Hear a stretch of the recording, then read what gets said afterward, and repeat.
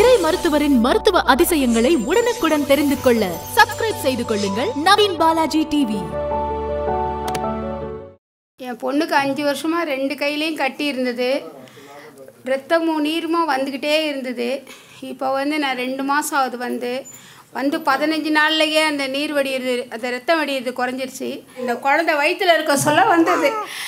அஞ்சு வருஷமா நான் படாத பாடலை என் பிள்ளைய நான் பார்க்காத டாக்டரே இல்லை என் குழந்தை ரொம்ப ரொம்ப கஷ்டப்பட்டுட்டா இப்போ எவ்வளவோ பரவாயில்ல. என் பேர் ஜோதிஸ்வரி. ரொம்ப கட்டியில் நீராக வரையும். எவ்வளோ டாக்டர் பார்த்தது. இங்கே வந்தோடனே நல்லா நீரும் வரையல. அவ்வளோவா இல்லை. ரொம்ப நன்றி சார். கடவுளுக்கு நன்றி சொல்லுங்கள்.